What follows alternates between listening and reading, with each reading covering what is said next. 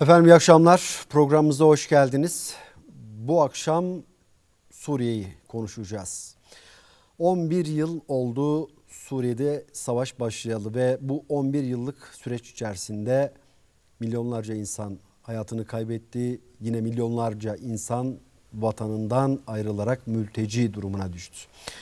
Ve onlarca tabii kayıp ee, bir o kadar da yine e, yaralı insanlar var. Ee, hemen yanı başımızda cereyan eden e, savaş komşumuz ve bizler Suriye Savaşı'nı ne kadar biliyoruz. Ee, bizler onun için bu akşam Suriye'yi daha yakından tanımayı, daha doğrusu Suriye'de yaşananları e, daha iyi idrak edebilme adına e, programımızı işleyeceğiz. Önemli bir konuğum var. E, uzman sosyolog Sayın Zehra Betül Şişman bizlerle hoş geldiniz. Hoş bulduk. Şimdi hakikaten e, bunu söylerken de içim acıyor. Çünkü ümmetin kanayan yarası ifadesi vardır bizde yıllardır. Biz bunu Filistin için kullanırdık. E, coğrafyanın belki hemen hemen her ülkesinde e, İslam dünyası sıkıntılar içerisinde. Ancak son 11 yıldır 11 yıl önce öyle bir e, savaş başladı ki bu 11 yıllık süreç içerisinde bile birçok şeyi kaçırabiliyoruz. Yahu başa döneceğiz birazdan. E, ama diyoruz ki ya bütün İslam aleminin içerisinde olan bir Müslüman ülke nasıl oluyor da e, beraber olduğumuz bu ülkede milyonlarca insan hayatını kaybediyor, mülteci durumuna düşüyor ve bir anlamda leş kargaları gibi dünyanın öbür ucundan gelen devletler orada yer alıyor. Başa geçelim mi? Baştan başlayalım. Baştan başlayalım. Ne oldu Suriye'de? Yani e, evet tamam bizim gibi köklü bir devlet değil, bin yıllık bir geçmişe sahip bir ülkede değil. E, işte 60-70 yıllık galiba bir mazisi var. Hı hı. E, ne oldu da isyan başladı? Ne oldu bu kadar rejim hırslandı? Ne oldu milyonlarca insan öldü? İlk baştan e, bununla başlayalım. Başlayalım. İlk önce nazik davetiniz için teşekkür ediyorum. Kontivi'ye gelmek, e, burada bulunmak bana her zaman mutluluk veriyor. E, sonra soruya gelecek olursak hızlı bir şekilde giriş yapalım. Çünkü konu derin ve uzun bir konu. Evet, evet. Mevzu uzun. Ee, bugün e, didaktik söylemler ve didaktik eylemler hani yerine gerçekten off the record meseleleri aslında konuşmak istiyorum. Çünkü yazılan çizilenin dışında hani programın adı da görüş alanı ya. Evet. E, şimdi kameranın aldığı 250 derecelik maksimum bir açı vardır. Balık gözüyle çekseniz hadi 280 derece çekin. Ama record geriye kalan açıdadır asıl mevzu. Görünmeyen noktalardadır. Evet. Suriye Savaşı'nda e, kameralara yansıyanın dışında geriye kalan record meseleleri aslında bugün konuşmak istiyorum. Çünkü akademik anlamda zaten bir şeyler yazıp çiziyoruz. Bunun üzerine benden çok daha uzman olan doktor, doçent, profesör insanlar var, stratejistler var. Fakat e, yazılan çizilerin dışında yaşanılanlar neler? Ben bugün e, bunlara daha çok değinmek istiyorum. Tabii hay hay. Bu arada hemen unutmadan ifade edeyim. Bültenimizin sonunda da e, söyledim. E, kıymetli e, seyircilerimize bir kez daha bunu söyleyeceğim. Çünkü bizde masa başı sosyologlar çoktur. çok işin içinde değildir ancak yazarlar, çizerler, haberlerden aldığı hı hı. işte efendim haberleri güncellerler vesaire. Ama Zehra Betül Şişman hanımefendi bizzat o bölgede bulunmuş, o çatışmaları gözlemlemiş, e, oradaki mültecilerin durumunu çok iyi bilen e, ve yardım noktasında da e, elinden gelen gayreti gösterip aynı zamanda bunun içinde bir vakıf çalışması da var. Onu da konuşacağız. Hı hı. E, böyle bir konuğumla birlikteyim. Onu da e, altını çizmek isterim. Buyurun. Evet. Suriye Savaşı bir duvar yazısıyla başladı. Doktor sıra sana da gelecek. Neydi bunun anlamı? Ee, bunun anlamı şu, e, biliyorsunuz e, Esed e, bir hekim, KBB'ci. Eğitimini Avrupa'da almış. Hem de iyi bir doktor. Babası Hafız Esed Baas rejiminin devamını sürdürmek için Avrupa'dan dönüyor ve devletin başına geçiyor. Evet. Ama halkın artık burasına kadar gelmiş tabirse. Baas rejimine artık Baas Partisi'ne tahammülleri kalmamış. Çünkü eşit gelir dağılımı yok e, demokrasi yok. Her şeyden öte e, bütün bu şartlar sağlanmış olsa bile Zaten Golan Tepelerinin alındığı günden yani 6 gün savaşlarından İsrail-Arap savaşlarından bugüne Suriye zaten en büyük hedef tahtasıydı. Evet. Mısır'dan sonraki en büyük hedef tahtasında olan ülkeydi.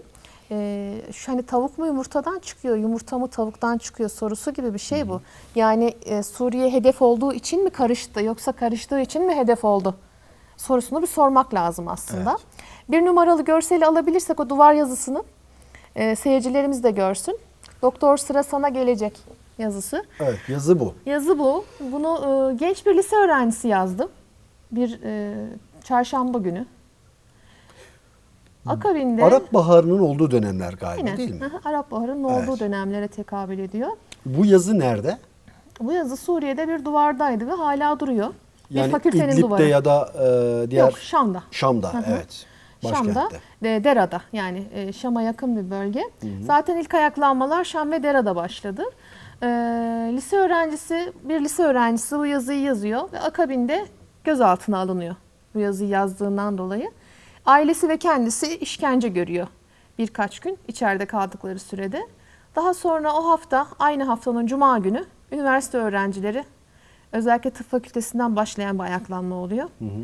Ee, Şam ve Dera'da başlayan ayaklanmalarla Suriye iç karışıklığı hızlı bir şekilde Başlıyor. başlıyor. Evet. Ee, şimdi tabii Arap Baharı'nda e, doktor e, sıra sana gelecek. Bu çok açık bir mesaj gibi görünse de ama liseli bir genç. E, Bas rejimi bunu çok ciddiye aldı galiba. Bas rejimi bunu ciddiye, Ciddiye almak istedi. İstedi. Çünkü artık e, Arap Tahmin Baharı'nın ediyor muydu? Ee, yani şöyle halk bu noktaya geleceğini tahmin etmiyordu. Fakat e, Esed bu noktaya gelmesini istiyordu.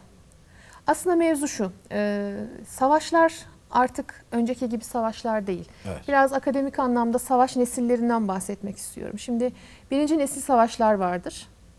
İlk dönem savaşları, ilkel yöntemlerle yapılan. Evet. İkinci nesil savaşlar vardır. Top ve tüfeklerle yapılan e, savaş dönemi.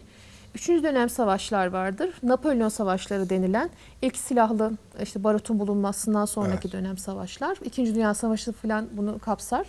Dördüncü nesil savaşlar var. Şu anki içinde bulunduğumuz dönem Suriye'deki savaş tam olarak bir dördüncü nesil savaşıdır. Yani hibrit savaş.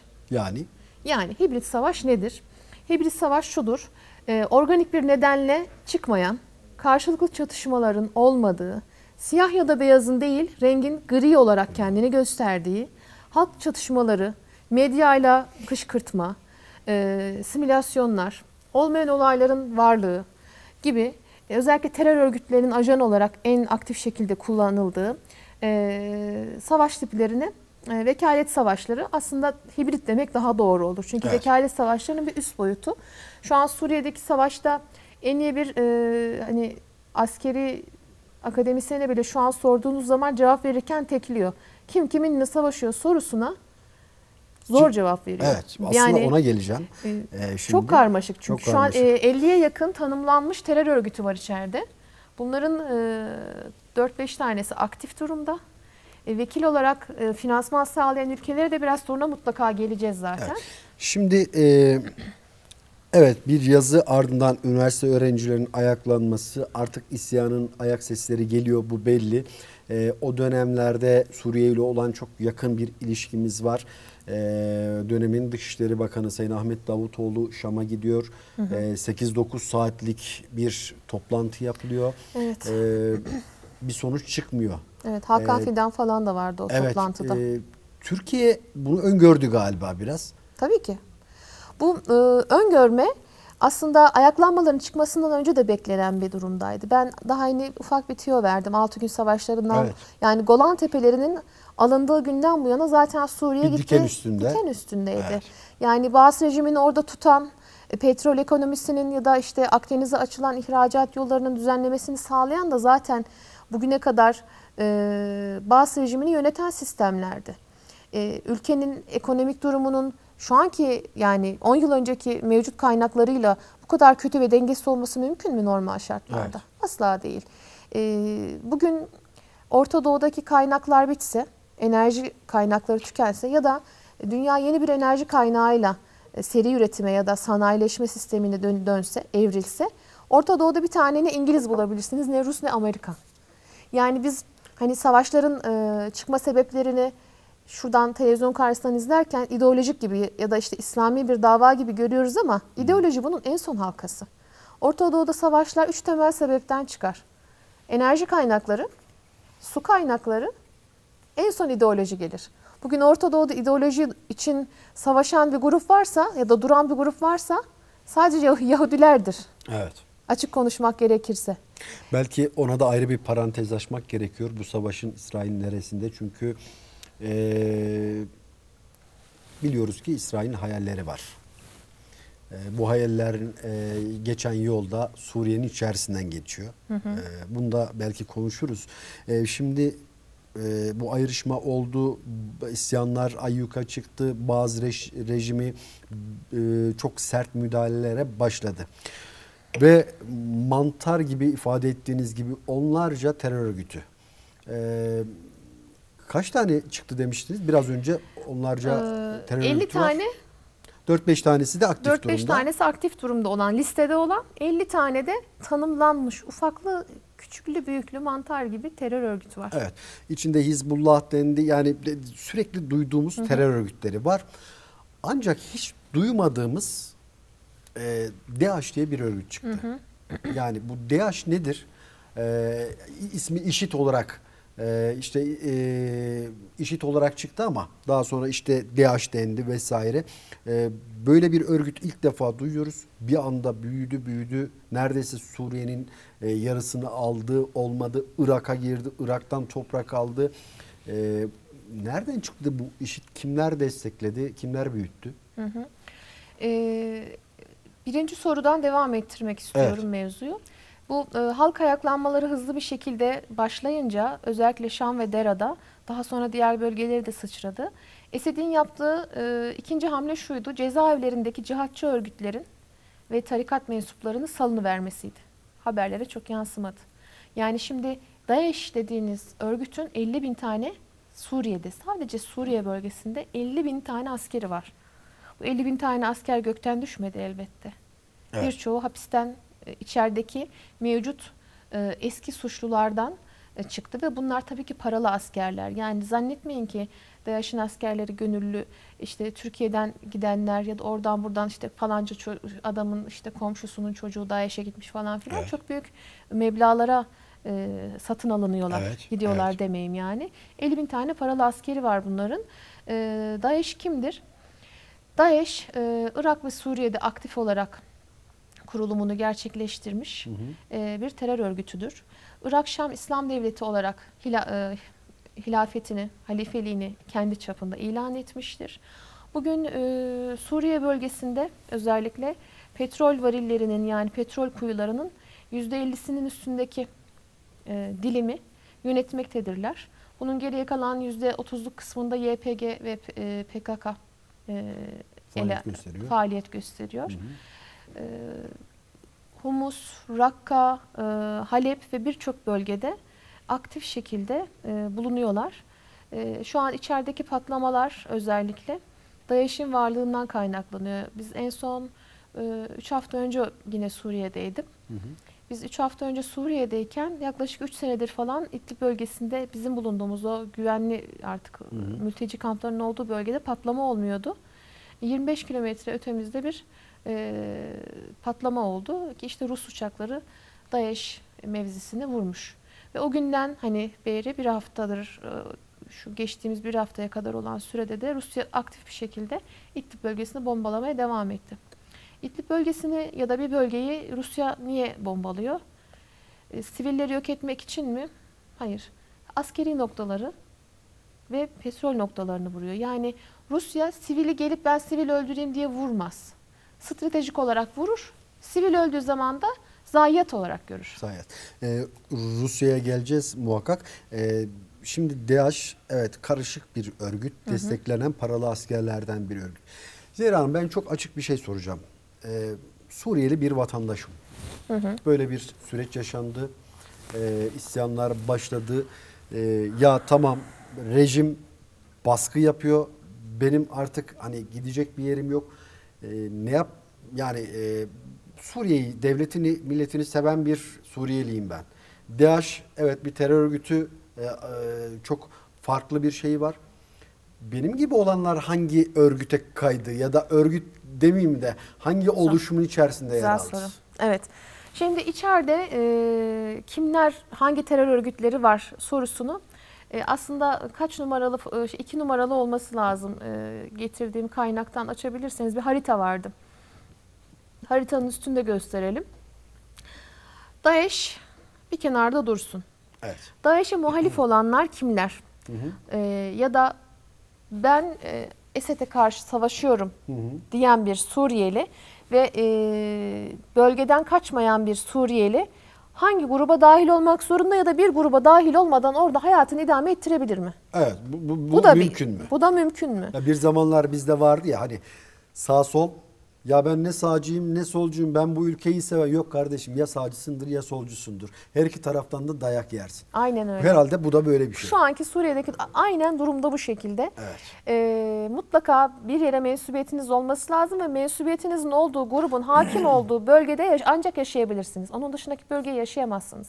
Suriye'nin içerisinde bölgeden bölgeye mesela 10 kilometrelik bir yerden bir yere geçerken kontrol noktalarında HTŞ bölgesinden geçiyorsunuz ya mesela. HTŞ askeri biter. Siz Azez'e geçecekseniz Türk Evet. Silahlı Kuvvetleri başlar. Geçemezsiniz. Evet. Yani e, adım atamazsınız. Mahalleden mahalleye adım atamazsınız. Artık şehirler değil mahalleler bile değil mi? Aynen. Ee, Çok e, absürt mesela biz e, ben her gittiğimde yaşadığım sıkıntılardan bir tanesi iç bölgeden mesela atıyorum İdlib bölgesinden Azez'e geçmem lazım değil mi? İdlib ile Azez'in arası 30 kilometre. Ben gümrük kapısından çıkıyorum. Tekrar Hatay içerisinden dolaşıyorum. Kilise gidiyorum. Kilisten Azez'e giriyorum. şu anda bir harita var ekranda. Evet. Bu harita ne anlama geliyor? E, haritayı biraz büyütme imkanımız var mı? Veya tam ekran da verebiliriz. Tam ekran verebilirsek Ee, sevgili göz- Fatih'ciğim. görmüyor. Evet. Şimdi kim nerede hakimiyet kurmuş? DAEŞ bu işin neresinde? Diğer örgütler kimler? Yani Suriye'de kalan bir vatandaş e, nereye e, dahil olur? Evet. Muhalif olarak görülen grupların komplesi e, HTŞ ve Özgür Suriye Ordusu olarak ikiye ayrılıyor. E, malumunuz Özgür Suriye Ordusu Türk Silahlı Kuvvetleri ile işbirliğine girerek zaten Zeytin Dalı bölgesini komple şu anda e, PKK'nın kantonlarını e, kaldırarak bölgeyi koruyor. Türk Silahlı Kuvvetleri ile birlikte. Evet. E, o bölge gördüğünüz bölge şu an zaten Mavi olarak aynen galiba. mavi olan bölge. Evet. Sarı bölge. Sarı bölge PKK Kürdistan bölgesi. Evet. Ee, Kürdistan bölgesinde PYD, PKK, İran'a doğru olan kısımlarda e, PEJAK da var. Kendilerinin ifadesiyle Kürdistan. Kendilerinin Ee, ifadesi evet, Kürdistan onu tabii ki. Tabii ki. alalım. Yani bu yabancı bir harita. Ben özellikle yabancı bir kaynaktan Evet. seçtim haritamı. Ee, Kırmızı bölge rejim bölgesi. Aynen kırmızı bölge Şam bölgesi ve etrafı Esed'in e, hakim olduğu bölge. Siyah bölge DAEŞ bölgeleri. Evet. Ee, ama sadece e, o bölgelerde yok. Yani DAEŞ'in dağılımı, e, kontrol noktaları aralarda da farklı farklı askeri noktaları var. Evet şu anda haritada olan İdlib e, bir yeşil bölge. Aynen. Orası e, kim var? Kim var şu anda? Şu anda aslında bölgedeki bana göre e, en kritik bölge İdlib bölgesi.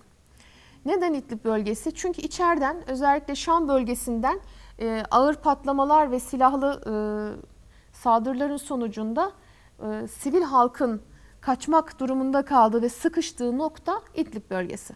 Evet. Ee, dışarıya kaçamayanlar ve Suriye'de kalmak durumunda olanlar ve bununla birlikte senin sorunun cevabı olan Esed'e dahil olmayanlar ya da işte PK- e, PYD'ye ya da DAEŞ'e dahil olmayan yani muhalifler diye adlandırılan grupların hepsi İdlib'de.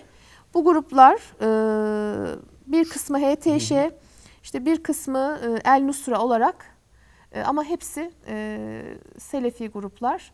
Görüşleri farklı farklı ama şu an İdlib'in hakimiyeti, kontrol noktaları HTŞ dediğimiz örgütte, Oluşum içinde. e, oluşumda, Ee, oluşum bir- diyelim. Örgüt demek istemiyorum Evet. aslında. Oluşum demek istiyorum ben de. Ee, aşağıdaki hemen ayrıntıyı da aslında görmek gerekiyor. Sol alt kısımda bir mavi bölge var. Golan Tepeleri, daha evet, bahsettim biraz ya. önceki bahsetmiş olduğumuz Aynen.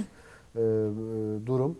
Ee, şimdi şu haritaya bakınca Suriye'yi e, paramparça 5-6'ya bölünmüş gibi görünüyor. Her ne kadar bugün dünya liderleri biz e, efendim Suriye'nin toprak bütünlüğünden yanayız deseler de bunu fiilen en azından şu yakın dönem içerisinde 10 yıllık 20 yıllık dönemde belki olması biraz zor mu görünüyor? Suriye'de toprak bütünlüğünü artık ben dilime bile almıyorum. Evet. Mümkün değil. O iş bitti. Yani Suriye Savaşı'nın 11 sene sürmesinin sebebi de e, dördüncü nesil savaş olmasından. Yani bu e, terör örgütlerinin aracılığıyla içerideki insansızlaştırma ve e, enerji kaynakları üzerine çökme politikası olduğu için. Şimdi öbür türlü direkt bir savaş olsa buna Birleşmiş Milletler'in ses çıkarması gerekecek. E Birleşmiş Milletler bir ses çıkarır mı böyle bir duruma? Zaten ekmeklerine yağ sürüyor. Evet. İçeride yüzlerce Birleşmiş Milletleri komiseri var. Olup bitenin hepsine şahitler. Gıklarını çıkartmıyorlar. Evet. Tabii e, önümüzdeki süreçte yine soracağım ama Amerika Dışişleri Bakanlığı'nın bir açıklaması vardı geçtiğimiz günlerde. Suriye'deki insanlara yardım eli uzatamıyorsak e, bundan sonra uzatacağız. E, eğer uzatamazsak biz onlara yardım edemezsek yazıklar olsun bize gibi e, gerçekten anlam veremediğim bir açıklama yaptı. Yeni Biden dönemiyle siz e, Amerika'nın Suriye'ye bakış açısını e, değerlendirmenizi isteyeceğim birazdan. E, onun öncesinde DAEŞ'ı evet DAEŞ'dan biraz daha bahsedelim. Şunun için DAEŞ çok önemli. E, Suriye'nin belki bu kadar parçalanmasının DAEŞ'in çok büyük bir rolü var. E, kim destek verdi apaçık sizce? Yani sizin gözlemleriniz nedir? DAEŞ yani Amerika dendi. işte bir ara Rusya dendi. Olmadı. Ee, işte farklı gruplardan bahsedildi. Ama bir destek var bu kesin. Ee, sizce alenen buna destek olan Amerika mı? Alenen destek olan Amerika, e, el altından destek olan da Rusya. Yani DAEŞ'in kullandığı uçakların bir kısmı da Rus uçakları. Mesela şu da vardır. İçeride savaşan iki gruba aynı anda karşılıklı savaşan iki tane grubu aynı anda aynı kişi finanse eder. Çünkü içeride onların çatışmasını ister. İlginç. Ee, işte vekalet savaşı tam olarak bu. Kendi askerini enerji kaynağını harcamadan sadece kontrol noktalarını kurarak içerideki insanları birbirine kırdırarak, kırdırmak zorunda bırakarak yahut da açlık oyunları gibi evet. mecbur bırakarak buna e, en güzel sonucu, en optimum sonucu elde edecek. Yani şöyle Amerika artık ben oraya gidip binlerce askerimle, tankımla, işte efendim e, uçaklarımla milyarlarca dolar harcayacağım. Bir örgüt kurayım. E, en iyi şekilde nasıl yönetebilirim bunu? Tabii ki dinle. Dini bir örgüt gibi e, kurayım.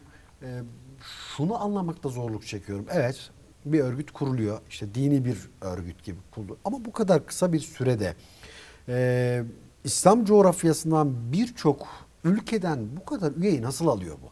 Yani biz Konya'dan bile bin kişiden bahsediliyor. Bin kişinin DAEŞ adına işte Irak'ta, Suriye'de savaştığı ifade ediliyor.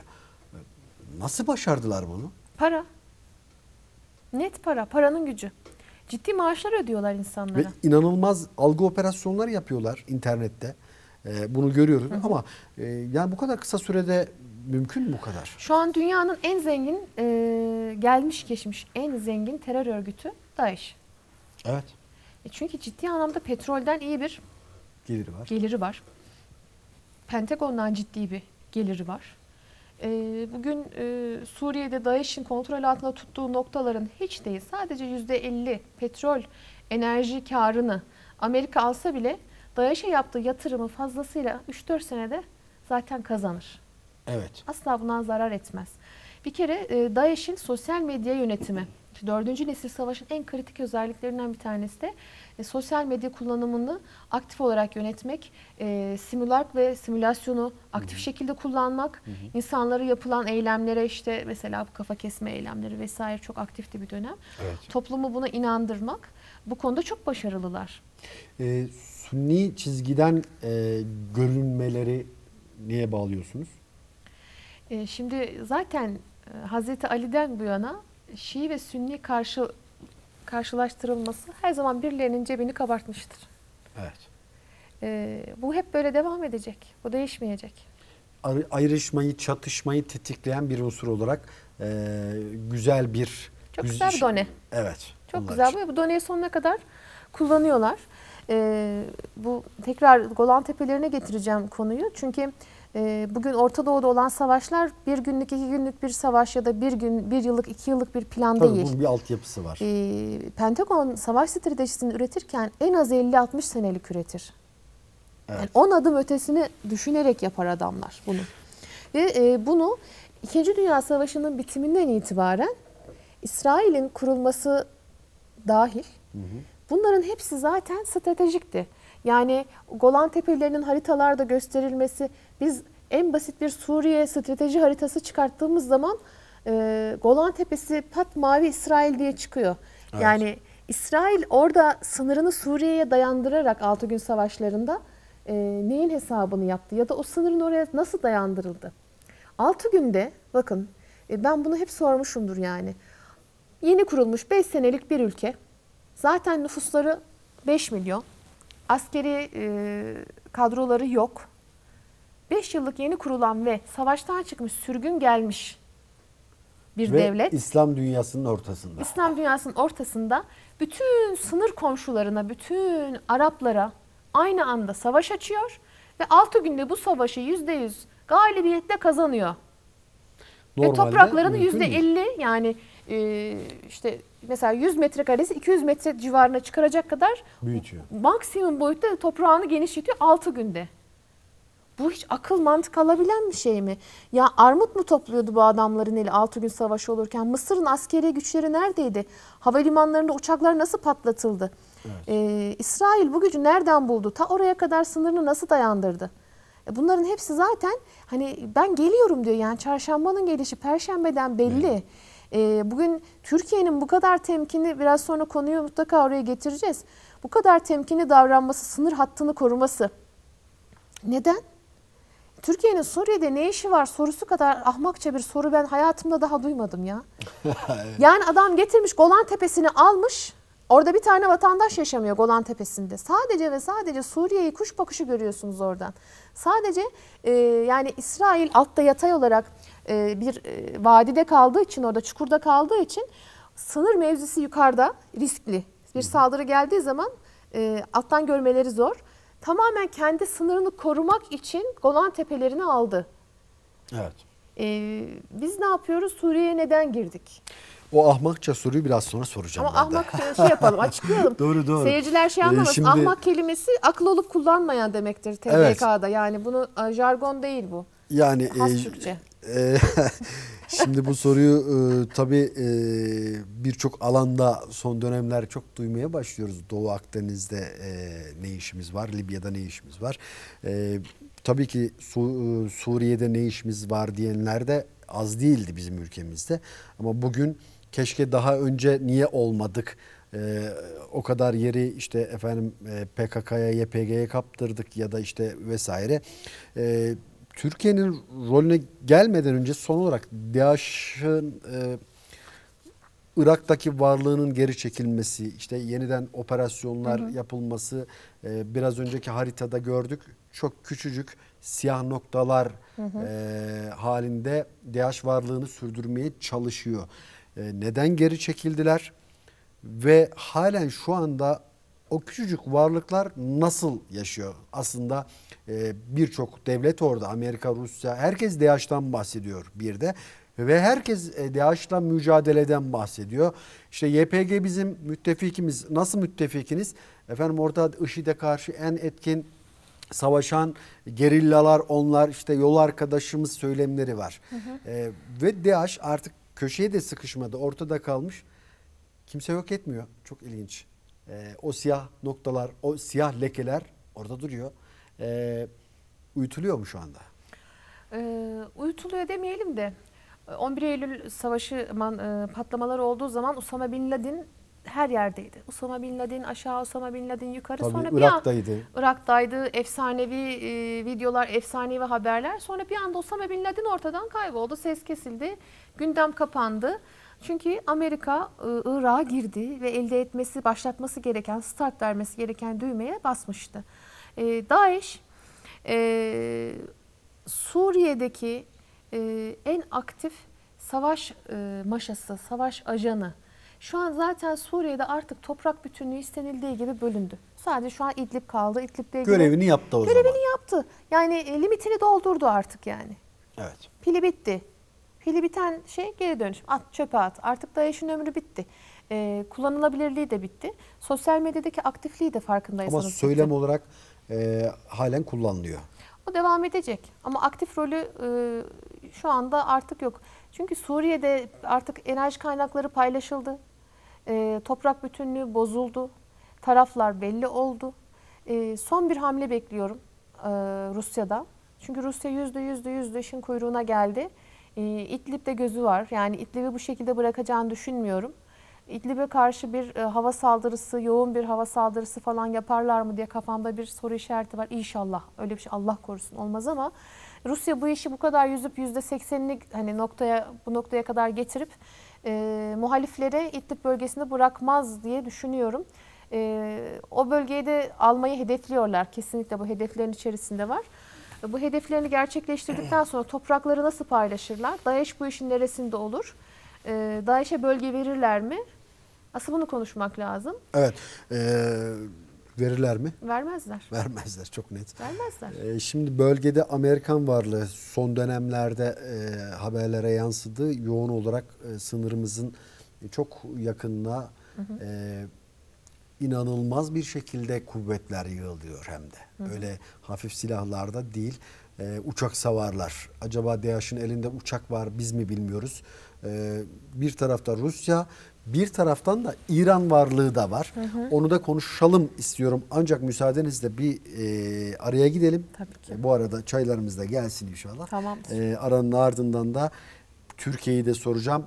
Türkiye'nin Suriye'de ne işi var diye e, onu da konuşalım istiyorum. En can alıcı nokta. Evet. E, e, bu konuyla ilgili de bugün biraz e, size akademik yayından da şeyler de getirdim. Barış Pınarı'nda e, vatandaşla Türk, Arap, Kürt karışık sınır bölgesinde e, yaptığım mülakatlardan da birkaç parça getirdim. Evet. Çok ilginç şeyler var. Vatandaşın yorumları var. İlk defa burada. Daha kitaba basmadım burada okuyacağım. İnşallah. E, oradaki vatandaşların bakışını da ben çok merak ediyorum. Hareket esnasında yaptım. Yani stres düzeyi maksimum düzeydeyken e, 30 kişiyle birebir mülakat yaptım. E, güzel şeyler var. Peki. Reklamlardan sonra inşallah. E, Girelim. aranın ardından devam edeceğiz.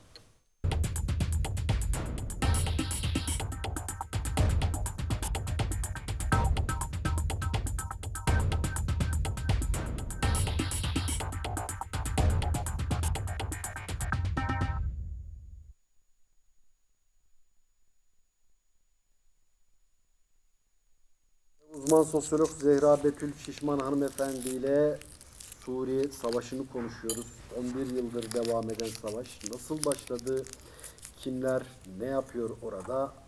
Bu e, süreci konuşmaya çalışıyoruz. E, şimdi aranın öncesinde özellikle DAEŞ'ı e, konuştuk, İsrail'in rolünü konuştuk. E, gelelim Amerika Birleşik Devletleri dünyanın bir ucunda ama bakıyorsunuz e, geçmişte olduğu gibi, Irak'ta olduğu gibi e, Suriye'de var. Rusya Suriye'de var. E, ve İran sınır komşusu değil ama Suriye'de var. Bu devletler ne işi var Suriye'de? Ne planlıyorlar? Amerika, İran, Rusya üçgeninin Suriye'de ne işi var? E, aslında bu sorunun bir alt başlığı, da- bir üst başlığını değerlendirecek olursak İngiltere'nin dünyanın her yerinde ne işi var demek lazım. Bunların e, bir de üstü var. Yani bir de onun üstü var. Amerika'nın da üstü var. İngiltere. E, sanayileşme devrinden sonra dünya enerji kaynaklarına ihtiyaç duydu. İnsanla giderilebilen e, iş gücü ve üretim mekanizmaları artık dünyayı doyurmamaya, İngiltere'yi doyurmamaya başladı ve İngiltere'nin e, altındaki Amerika'yı falan doyurmamaya başladı. Bir müddet sonra yeni enerji kaynakları arayışına girdiler. Tabii ki bu enerji kaynakları arayışının en başında Amerika geldi. E, Amerika, Rusya, İran üçgeninde hem strateji var, hem enerji kaynakları var, hem ideoloji var. Aslında Trump'ın dediği gibi petrol kaynaklarını Rusya'ya bırakacak değildik. Tabii ki. Çok açık ve net ifade etti. Evet Amerika dediğiniz gibi e, enerji e, yani geçmişte olduğu gibi yine sömürmeye devam edecek. Rusya niye var? Yani tamam e, Esed rejimi e, Rusya'dan yardım istiyor ama e, onlarca savaş aracı e, o da mı enerji? Çünkü e, kimse babasının hayırına kendi dininden olmayan, kültüründen olmayan hiç kimseye yardım etmez hele hele Rusya. Rusya niye var? Rusya e, Çeçenlere bir avuç Çeçene karşı koyamadı, yenildi. Yani alamadı Çeçenya'yı ama geldi Suriye'ye oturdu. Evet. Bunu na- nasıl yaptı? Sosyolojik olarak değerlendirmem gerekirse Suriye iç karışıklığı zaten e, uzun yıllardır yani Bahar Arap Baharı'ndan ve Bas rejiminden bu yana devam eden bir karışıklıktı. E, Suriye'deki enerji kaynaklarıyla birlikte tarım ve daha artı en önemli şey Tarsus limanı faktörü var. Akdeniz'e açılan ihracat kapısı var. E, bu ti- ticaret ve ihracat yolunu Akdeniz'e açılan e, kapıyı Rusya asla kaçırmak istemezdi. Çünkü Ruslar disiplinli ve parayı seven bir millet. E, fırsatları kaçırmazlar. Evet. Ee, hani başta demiştik ya bu işin enerji boyutu, su boyutu ve ideoloji boyutu. İran bunun e, e, ideoloji boyutunda mı? Biraz daha aynen ideoloji boyutunda. Evet. İran'ın e, yani bu biraz hani kimseyi alındırmasın ama e, dünyada en tehlikeli iki millet bana göre İsrail ve İran'dır. Neden? E, Persler her zaman tarih boyunca yakıcı e, ve e, şey tanımazlar yani. İnsanlıktan önce mezhepçilik vardır. Evet. İran beni her zaman korkutmuştur. Edebiyatlarıyla, kültürleriyle, sanatlarıyla imrendiğim ama e, bu anlamda, stratejik anlamda böyle kardeşe kıyma anlamında mevzu ta Hasan Hüseyin'e gider. Derinlemesine girersek. E, beni her zaman korkutmuştur. Şia kardeşliği mi? Evet. Maalesef. Ee, burada e, Amerika ve Rusya'nın enerji ve su kaynakları, İran'ın ise daha çok ideolojik anlamda toplu bir sünni kıyımı e, olarak mevzuya baktığını ben düşünüyorum ve buna çok üzülerek bakıyorum. Aslında burada e, İran'ın dezavantajı var. Çünkü e, PKK'nın ve YPG'nin diğer kolu olan PEJAK da güçleniyor e, aynı anda. İran'ın sınırlarında da PEJAK tehdidi var. Onlar da PEJAK'la uğraşıyorlar. Ama buna rağmen e, hazırda bir sünni katliamı olduğu için e, buna hayır demiyorlar. Evet. Evet gelelim e, Doktor Bey'e. E, şimdi e, Doktor Bey kim diyecek belki izleyicilerimiz kaçırmış olabilir. E, bu 11 yıllık savaşın ilk e, ateşi Doktor sana da sıra gelecek bir lise öğrencinin duvara yazmış olduğu yazı ve e, sonrasında gelişen olaylar. E, Suriye rejimi şu anda ne durumda? Yani e, ülke topraklarının bir kısmını e, işte PKK'ya, PYD'ye kaptırmış durumda ki zaman zaman şunu bile duyduk kendilerinin davet ettiği terör örgütleri bile oldu. Tabii ki. Ya burayı siz alın. Ee, ya bu kadar aciz bir durumdaki Esed'den bahsediyoruz. Ee, yalvaran Rusya yalvaran bir rejim. Gelin bizi koruyun. Ee, topraklarını peşkeş çekmeye başladı. Ee, Amerika'ya ses çıkarmayan e, bir rejim. İran'a, e, e, İsrail'e ses çıkarmayan bir rejim var.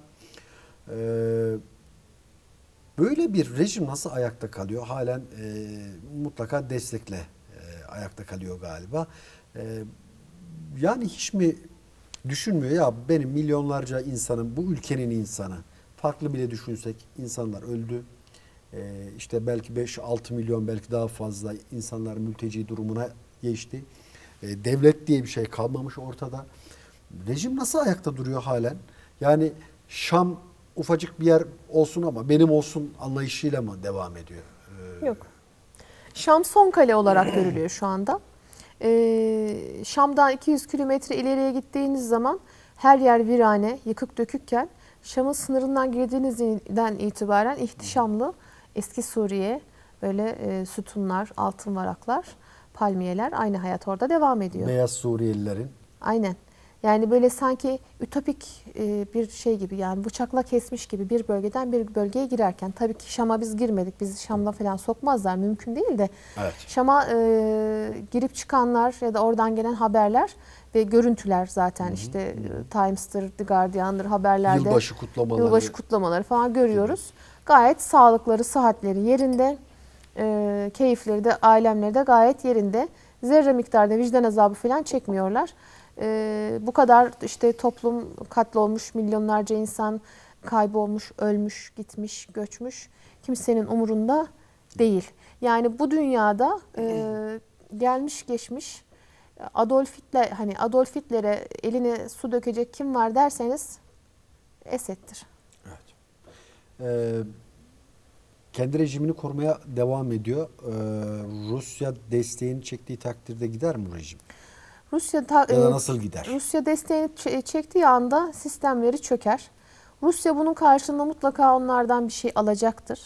Ya da bir gün elini çekip buyurun diktatörünüz bu deyip Saddam'ı e, adres gösterdikleri gibi, Kaddafi'ye adres gösterdikleri gibi kendi toplumuna Esed'i de linç ettirip bunu kamera kayıtlarına alacak da olabilirler. Evet. Yine onun da ömrü bittiğinde, miadı bittiğinde çöpe atılabilir.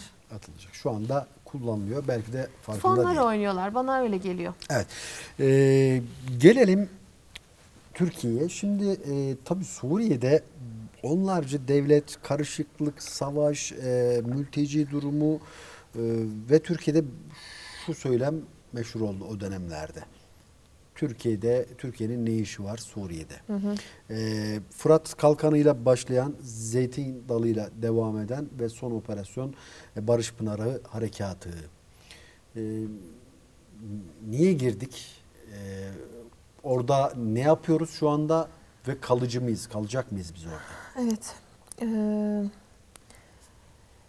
sırasıyla Fırat Kalkanı, Zeytin Dalı ve Barış Pınarı harekatları e, olması yüzde yüz gerekli. Türkiye'nin stratejisi ve güvenliği açısından yüzde yüz gerekli olan harekatlardı. Evet. Ee, çünkü şimdi Suriye'de bizim ne işimiz var sorusunu soran insan bir kere e, Suriye sınırında kimin koğuşlandığını, kimin olduğunu bilmiyordur. Burada PKK'nın e, yıllardır, uzun senelerdir kurduğu e, PKK ve PYD'nin 12 tane kantonu vardı. E, bu 12 tane kanton bir araya getirip birleştirilerek, birleştirilerek terör koridoru e, diye adlandırıyoruz biz bunu. Hepsini şu sarı olan bölgeye bir araya getirerek Kürdistan devletini aynı zamanda işte içine Türkiye'nin güneydoğusunu falan da alarak burayı bir bütün haline getirerek Kürdistan'ın kendi tabirlerine göre kurulacak Kürdistan'ın bir parçası haline getirmeyi düşünüyorlardı. Zaten sosyolojik olarak, toplumsal olarak bölge buna gayet müsaitti. Şu anda mesela e, bu bölgeyi Özgür Suriye Ordusu'nun e, işbirliğiyle Türk, Türk Silahlı Kuvvetleri denetim altında tutuyor. E, ama denetim altında mesela ben bölgeye çok sık girip çıktığım için rahatlıkla söyleyebilirim. Yönetim her ne kadar Türk Silahlı Kuvvetleri'nde olsa da halk, halkın bir çoğunluğu PKK'lı olduğu için halen bölge tehlike teşkil ediyor. Yani burası 100 senede Türkiye'nin elinde kalsa aynı kontrol mekanizmasını sağlayarak sürdürecektir Türkiye. Yani e, bunu bir Kıbrıs gibi değerlendiremeyiz. Kıbrıs toprağı gibi ya da ekstra bir toprak gibi değerlendiremezsiniz. Çünkü farklı dinamikler var. farklı dinamikler var. Heterodoksi var. Heterodoksi dediğimiz şey farklı dinlerin bir arada bulunması. Bir de öyle bir şey var. Hem farklı e, gruplar var, hem farklı dinler var. Zerdüştlükten tutun da e, Mecusiliğe kadar ve farklı mezhepler var. Çok karışık bir bölge. E, bu karışıklığın içine bir de terör girmiş. E, kantonlar kurulmuş. İnsanların hemen hemen e, özellikle Urfa bölgesi, Suruç bölgesi falan komple. Suruç'un %90'ı zaten yani HDP. E, bu sosyoloji içerisinde Türkiye'nin orada bir kontrol mekanizması sağlaması çok zor. Çok zor, evet. Enerjik olarak, askeri enerji olarak bir kere çok zor. E, ama buna rağmen kendi sınırını korumak adına bir fedakarlık yaparak askerini orada tutuyor. Ve bu harekatlarda ciddi anlamda şehit sayıları verildi. İlk harekat Fırat Kalkanı'nda başladığı zaman Bülbül Köyü'nden girildi. Bu meşhur hani Abdullah Öcalan'ın bir dağ üzerinde bir e, posteri vardı patlatıldı. Bülbül Köyü'dür orası. Şu an Bülbül Köyü'ne gittiğiniz zaman rahatlıkla gezip yiyip içebiliyorsunuz. Ben her gittiğimde geçiyorum Bülbül Köyü'ne de giriyorum hatta. E, o eski halinden eser yok şimdi.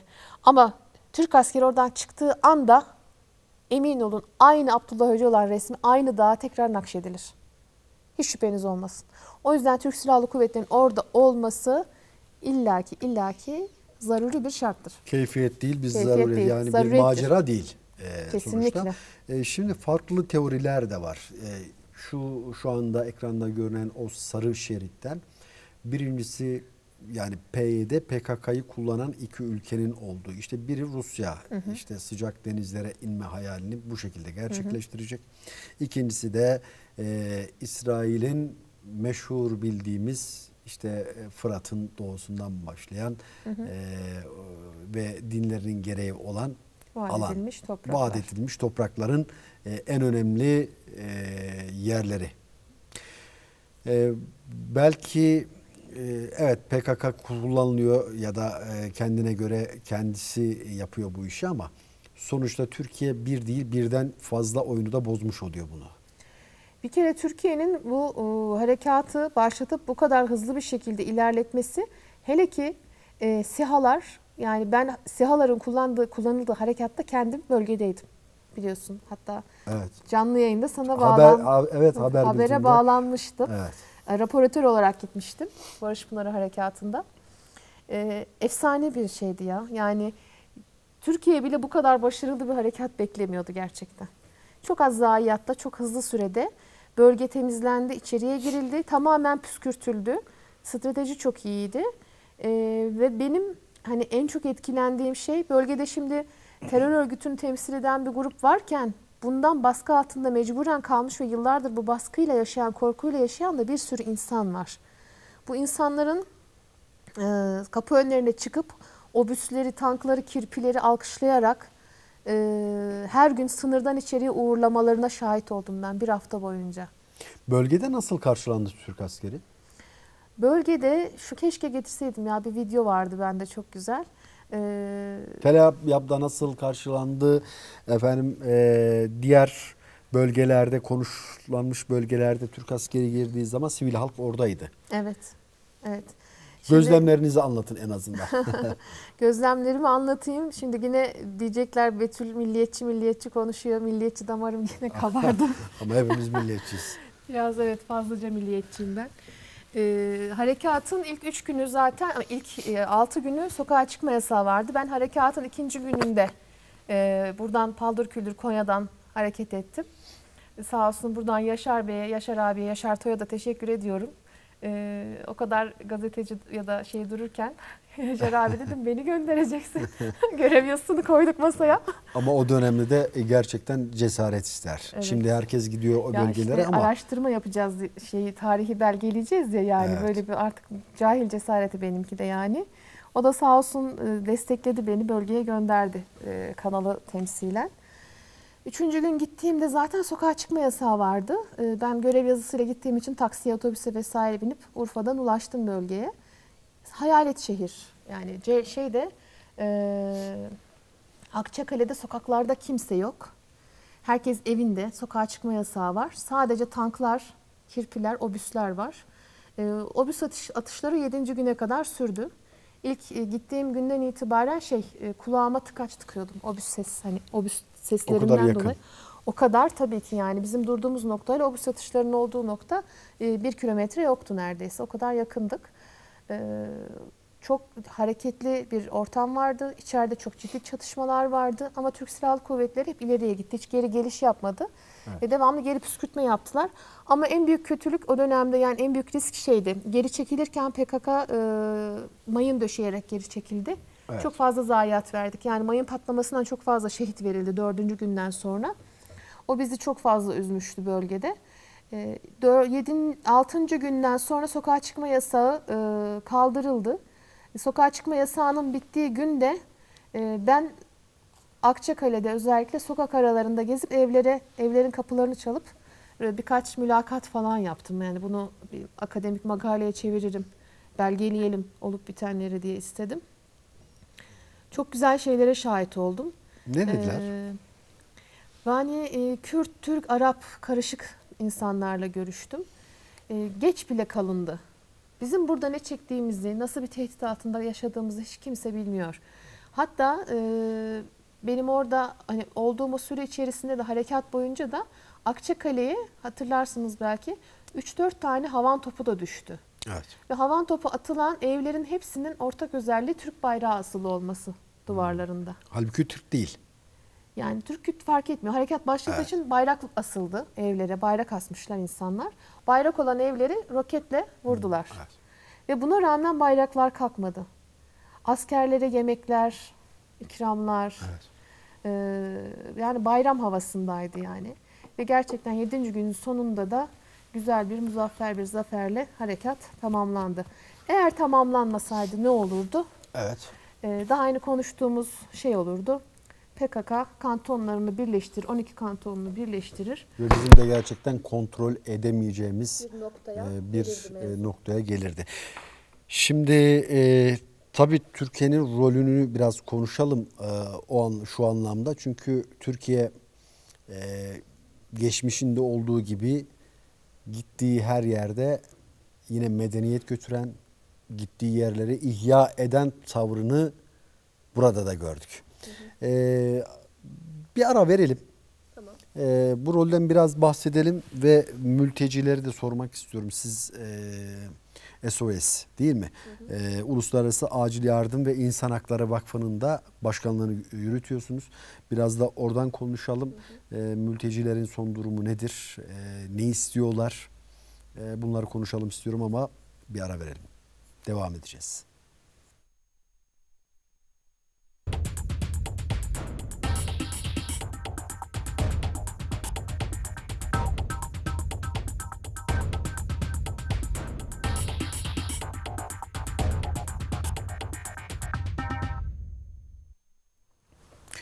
Programımızın son bölümüyle karşınızdayız. Ee, uzman sosyolog Zehra Betül Şişman'la olan e, birlikteliğimiz devam ediyor. 11. yılında Suriye Savaşı'nı konuşuyoruz. Aranın öncesinde e, Türkiye'nin rolünü biraz konuşuyorduk. E, destan yazıyor Türkiye gerçekten. Ki e, şimdi 15 Temmuz gibi bir travmayı atlatmışız. Yani kolay değil. Türk Silahlı Kuvvetleri e, ciddi manada yara almış.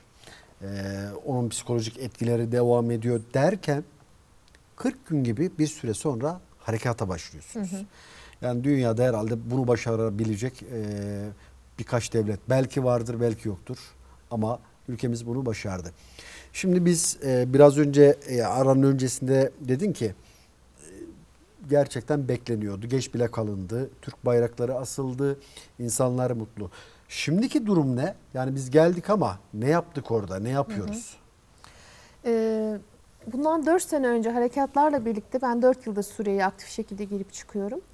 Ee, Azez, Afrin, Cerablus, Cinderes bu bölgeler e, daha yeniki haritada gösterdiğimiz hatta e, göster e, sarı olan bölge terörden arındırılan bölge. Terörden önce ne vardı? Terörden sonra neler var? Bahsedecek olursak e, Türk Silahlı Kuvvetleri bölgeye girmeden önce halkın üzerine muazzam bir baskı e, terörden dolayı evden işte mecbur e, dağa çıkmak zorunda kalan gençler, e, çatışma içerisindeki bir halk, e, evlerden alınan, dükkanlardan alınan haraçlar, artı PKK'nın en çok yaptığı ve PYD'nin en çok en, en aktif yaptığı ve Rusya ile de işbirliğine gittiği bir mevzu var. Madde kaçakçılığı ve insan kaçakçılığı.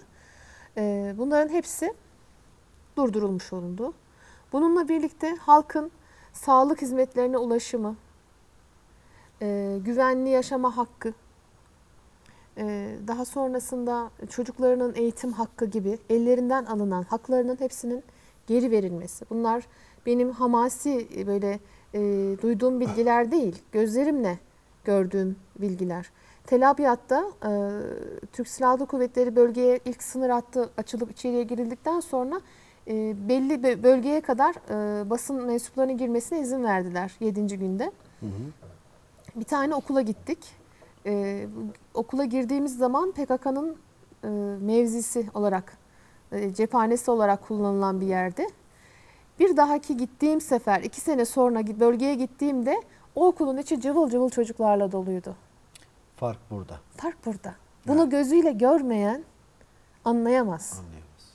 Ve eğitim hakkı, yaşama hakkı, sağlık hakkı her insanın hakkıdır. Tüm insanların hakkıdır.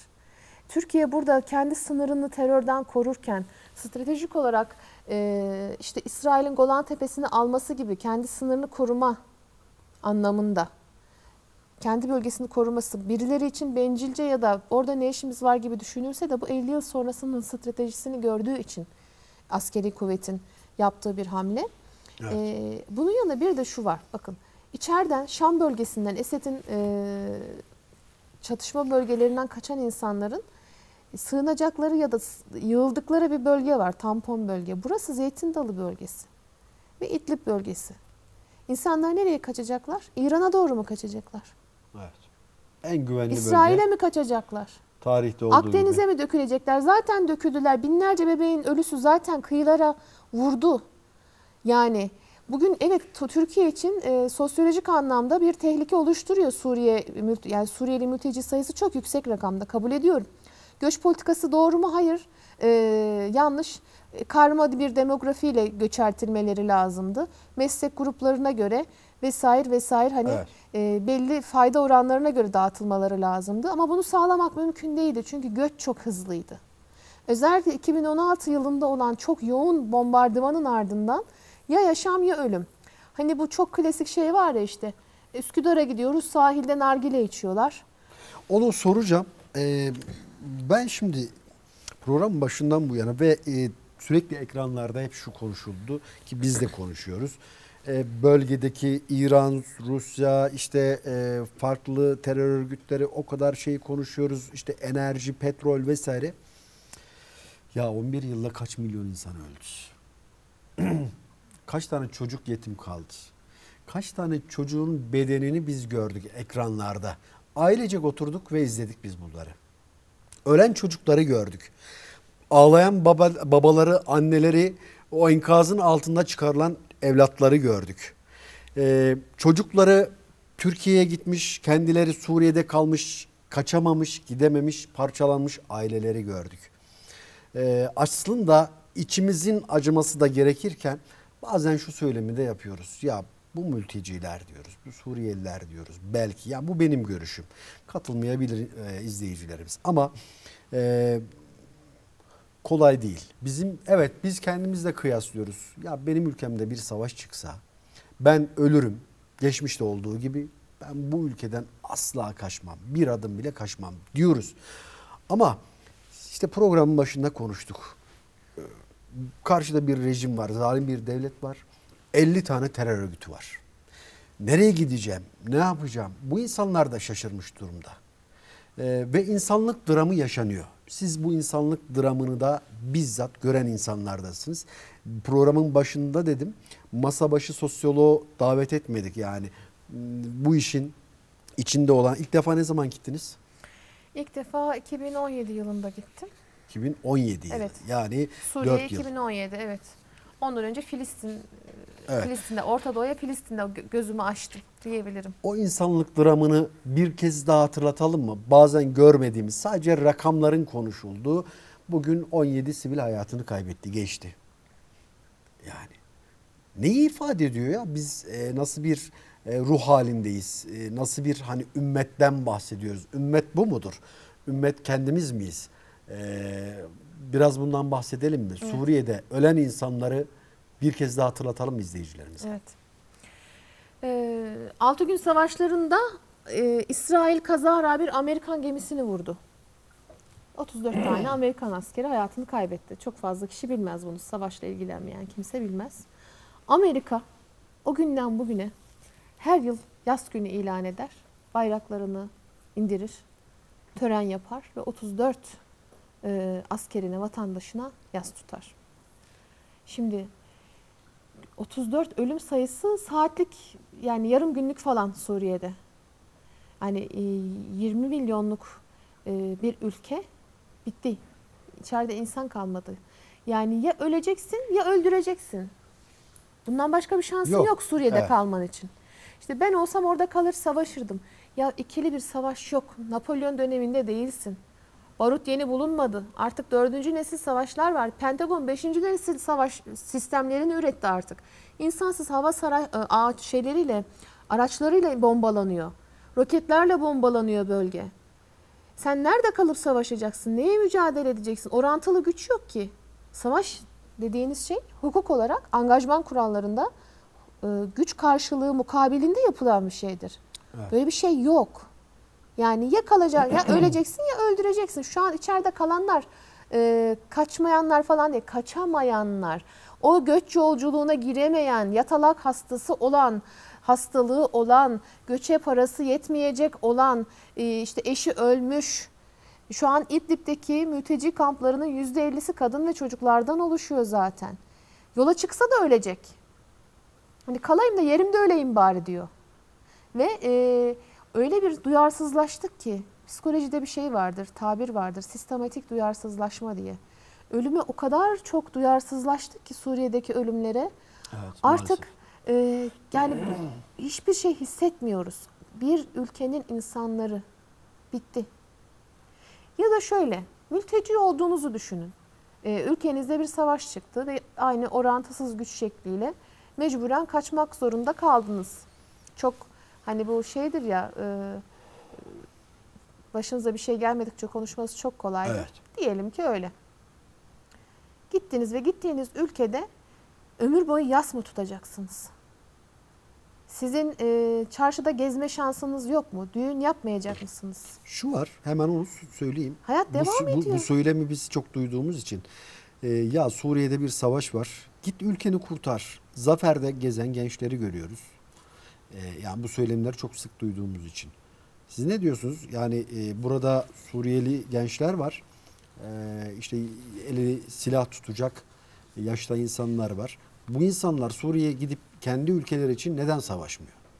Savaşacağı bir taraf yok. Çünkü içeride devletle bir devlet e, çarpışmıyor. İşte bunu iyi anlatmak Bunu lazım. iyi anlatmak Evet, lazım. evet, bir evet. terör örgütüne bir bir şeye dahil olması lazım savaşması için. Şimdi ülke ülkenin kendi zaten hükümeti vuruyor vatandaşını. Hangi cephede duracak bu adam? Şu ayrı bir mevzudur. Türk milliyetçiliği ile Arap milliyetçiliğini asla kimse kıyaslamaya kalkmasın. Mümkün değil. Bu mümkün değil. Kıyas götürmez zaten yani. Arap e, İbn Haldun'un bir şey vardır mukaddimesinde bir sözü vardır. Araplar zora geldiği zaman kaçarlar der. Türkler de vahşidir der. O ayrı konu da. E, ben bunu daha yumuşatayım. Savaşçıdırlar diyeyim yani.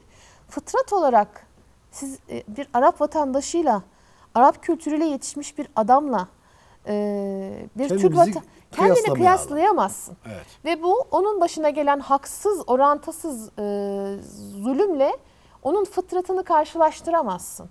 O onun atıllığıdır ve tembelliğidir. Ama ülkede olan orantısız güç ve ölümcül savaş savaşla o gencin çarşıda gezmesinin bir bağlantısı yoktur. Orada kalsa zaten ölecekti. Evet. Zaten ölecekti. Bırak yaşasın ya. Birinin yaşaması sana niye bu kadar dokunuyor kardeşim? Senin için tehlike teşkil ediyorsa bunun için devletin alması gereken göç politika önlemleri vardır. Ama bu da mültecinin suçu ya da sorumluluğu değildir. Bazı şeyler kontrolsüz gelişir. Ee, göçler, savaşlar, hastalıklar, işte pandemi şu an pandeminin içerisindeyiz mesela. Ee, bu kontrolsüz gelişen şeyleri e, zulümü haklı kılmak ya da zulüme bahaneci kılmak adına eleştiri sebebi olarak kullanmayın. Yarın benzeri ya da daha kötüsünün başınıza gel, başımıza Allah korusun gelmeyeceğini bilemeyiz. Evet. Tarih e, farklı farklı kaderleri e, aynı kalemle yazmıştır. Kınadığınız şey başınıza gelmedikçe eee, evet canınızı vermeyeceksiniz. Hadis-i şerif. Onun için kınamayalım. Allah göstermesin. Evet biz eee, dediğiniz gibi Türklerle Arapların milliyetçilik kavramı ya da algısı, yaşayışı çok farklı. E, ama dediğiniz gibi Suriye'de savaşacak ama kimle savaşacak? Özgür Suriye ordusu. E, Türk Silahlı Kuvvetleri ile haklarını yememek lazım. Bu mücadelede gerçekten önemli bir rol oynuyorlar onlar da. E, Suriye'de savaş biter mi? Yani bir öngörüyor musunuz? Yani milyonlarca mülteci tekrar yuvalarına döner mi? Ee, hani diğer devletlerin de söylediği gibi toprak bütünlüğü sağlanarak bir huzur ortamı oluşur mu? Ee, Özgür Suriye ordusu e, Esed ayaklanmaları bastırmaya çalışırken ordudan kopan suba, Özgür Subaylar diye bir gruptan hızlı bir şekilde oluşan bir topluluktu. Daha sonrasında e, muhalif grup olarak adlandırıldı ve e, Türkiye Silahlı Kuvvetleri ile işbirliği yaparak bölgeyi korumaya başladı.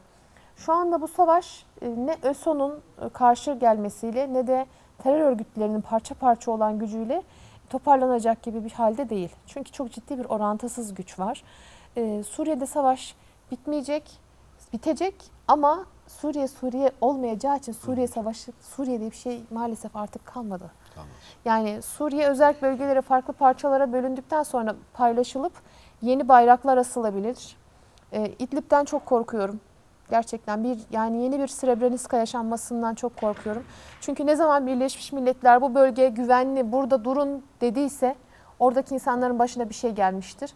Ben nerede bir Birleşmiş Milletler bayrağı görürsem orada e, Katliamın, katliamın olma ihtimalinin yüksek olduğunu. ayak izlerini hissederim. Evet, evet. Ee, biliyorsunuz Srebrenica'da e, Birleşmiş Milletler'in çağrısı üzerine insanları oraya bir araya tampon bölgeyi toplayıp sıkıştırıp toplu bir şekilde katlettiler. Suriye'de bilinmeyen başka bir konuyu söyleyeyim. Ee, Birçok toplu mezar var. Ömrüm yeter mi bilmiyorum. Birkaç tanesinin yerini haritada işaretledim. Fotoğrafımı çekmeme müsaade etmediler güvenliğimiz açısından. Ama e, şu anda e, neredeyse 1 milyona insan, yakın insan Suriye'de kayıp. Bunların birçoğu çocuk. Organ mafyası ve insan kaçakçılığı e, için kaçırıldığı düşünülüyor birçoğunun. Birçoğunun zayiat olduğunu ya da isyancı olduğu için e, DAEŞ tarafından öldürüldüğü söyleniyor. Ama bu 1 milyona yakın insanın cenazesi bile yok. Sadece 3-4 kayıptan bahsediyoruz. Sadece kayıp bunlar. 1 milyon Aynen, kayıp. aynen. Bunların bir kısmı e, Azez'de, bir kısmı İdlib'de, e, Hama'da bir bölgede olduğunu duydum. 3-4 tane toplu mezar olduğunu duydum. Bir iki tanesinin de tahmini yerlerini biliyorum. E, bunlar tahammül edilemez şeyler. Gerçekten çok acı. Evet son 5 dakikamız kaldı. Ee, şu anda e, bir veri var mı? Ee, sayısal olarak belki ne kadar bizi e, en azından e, ya ş- biz ümmet olarak e, rakamlara koyup geçip diyoruz ama en azından verelim. Belki kulağımıza küpe olur. Evet. Kaç insan vefat etti? Bir infografi getirmiştim. Onu verebilir miyiz? Biraz Infogra- önce ekrandaydı Yok bir sanıyorum. tane daha var. Öyle? Aha açlık sınırında olanlar vesaire bütün infografiye dökmüştüm hepsini. Evet arkadaşlarımız e, hazırlaya dursunlar. Bu arada şeyden Mülteciler evet bahsedelim isterseniz. e, yardım evet. e, mutlaka bahsedelim. Uluslararası Acil Yardım ve İnsan Hakları Vakfı ne zaman kuruldu? Evet. SOS'imiz çok taze. Aslında şöyle, e, biz SOS Vakfı'nı 6 ay önce falan kurduk ama 6 ay öncesinde zaten bizim yönetim kurulumuz hem tıpçılardan hem e, aktif vakıfçılık kültüründen gelen arkadaşlarla bir araya geldi. Hepimiz farklı ülkelerde, farklı bölgelerde aktivasyon gösteriyorduk zaten. E, artık bir aradayız ve uluslararası anlamda Suriye, Filistin, Moro, Bangladeş, ee, ve Tanzanya bölgelerinde faaliyet göstermeyi hedefliyoruz ki Suriye'de şu an bir sağlık merkezi inşaatımız başladı. Her ay aktif şekilde doktor muayenelerimiz, cerrahi işlemler ee, Devam ediyor. aktif şekilde devam ediyor. Ecza yardımlarımız devam ediyor. Akademik çalışmalara devam ederken bu hizmetleri aynı anda bir arada yürütmeye gayret ediyoruz. İnşallah hayırlı bereketli olur. Ama sahada yaşadığımız ve gözlemlediğimiz ve karşılaştığımız vakalar gerçekten burada mesela e, doktor hanım, e, doktor Fatma bir çocuğu muayene ediyor. Çadırlarda muayene ediyoruz insanları. Evet. Minik cerrahi işlemler yapılıyor. Bunların hepsi böyle piriket evlerde. E, piriket ev bulursanız ala. Çok iyi bir klinik. bir pirket evimiz varsa biz seviniyoruz muayene yaparken. Doktorlarımız seviniyorlar. Ee, şu gördüğünüz e, El Hayr mülteci kampı. Bu mülteci kampı bakın tepelerce alabildiğine böyle sınırsızca çadırlar var. Ee, insanların sağlık hizmetine ulaşması neredeyse olanaksız. Ee, mülteci kamplarına e, ambulanslarla giriş yapıyoruz. Ee, ön bilgilerini aldıktan sonra çadırlarda kadın, çocuk, erkek olarak ayırıp bakın gördüğünüz gibi mesela bu hastamız çok ağır bir kalp hastasıydı. Bu teyzemizi ambulansla e, uzak bir bölgedeki hastaneye sevk ettik. E, sağ olsun doktor hanımlar da her şeye rağmen Sağlık eğitimleri e, daha doğrusu sağlık Hizmet hizmetleri verdiler. e, daha ağırlıklı veriliyor. hı hı, E, evet. Mutlaka e, biraz önceki verilere tekrar dönmeyelim Fatih çünkü süremiz de e, ama durumu e, Zehra Hanım en azından özetlemiş oldu insani krizi olarak da. E, Allah kolaylık versin. teşekkür ediyorum. Ee, Bugün Suriye'yi bir kez daha hatırlama e, imkanı da oldu sayenizde. Ee, gerçekten mesela doktor sıra sana da gelecek yazısını ben bilmiyordum. İlk defa sizden duydum. Ee, önümüzdeki çok kritik yıllar var. Hem ülkemiz için hem Suriye için Ee, bakalım neler olacak. Ee, biz bize düşen görevi fazlasıyla yapmaya gayret ediyoruz. Türk askeri her zaman olduğu gibi geçmişten e, aldığı o e, medeniyet tasavvuruyla hareket etmeye devam ediyor. Gittiği yerleri yine ihya etmeye devam ediyor. Sağlıktan eğitime birçok alanda güvenlik e, başta olmak üzere eğitimler de veriyor. Bunlar önemli. E, biz de e, tebrik ediyorum. Herkes vakıf kuruyor ama herkes Suriye'de vakıf kurup oraya da öyle bölgelere gitmek zor. Bunu başarmışsınız yeni olmasına rağmen.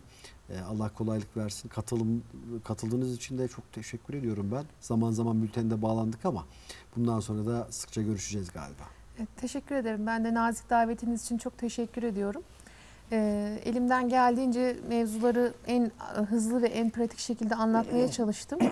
Ama e, hani son olarak söylenecek bir şey varsa e, 11 yılda e, çok uzun bir süre. Çok uzun. Ee, Bizim stratejik olarak askeri yapımız da çok yoruldu. Suriyeli insanlar zaten bitti. Suriye'de insan diye bir şey kalmadı. Ee, Dünyanın yaşanan en büyük insani krizlerinin en başında geliyor şu anda. Gerçekten çok büyük kayıplar var. Ee, Şu an Suriye eski Suriye olsa bile içinde yaşayacak insan kalmadı. Her biri bir yerde. Kimseye kızacak, söylenecek bir durum yok. Ya herru ya merruydu. Ya ölecektin ya öldürecektin. Bu konuda insanların daha anlayışlı olmasını ve duyarsızlaşmadan e, yani vicdanınızı siyasallaştırmayın lütfen. Vicdanınızı siyasallaştırdığınız zaman e, artık o kalp bitmiştir. Yani senin ne işin var orada? Devletin ne işi var orada? E, değil. Evet, Evet. tam olarak üstüme vazife. Hani üstünüze vazife mi denir? Evet, üstümüze vazife. Eyvallah. Evet başka söze de hacet yok galiba. Noktaladık. Ee, haftaya çarşamba günü yine 20.50'de özel konu ve konuklarla karşınızda olmayı ümit ediyorum efendim. İyi akşamlar.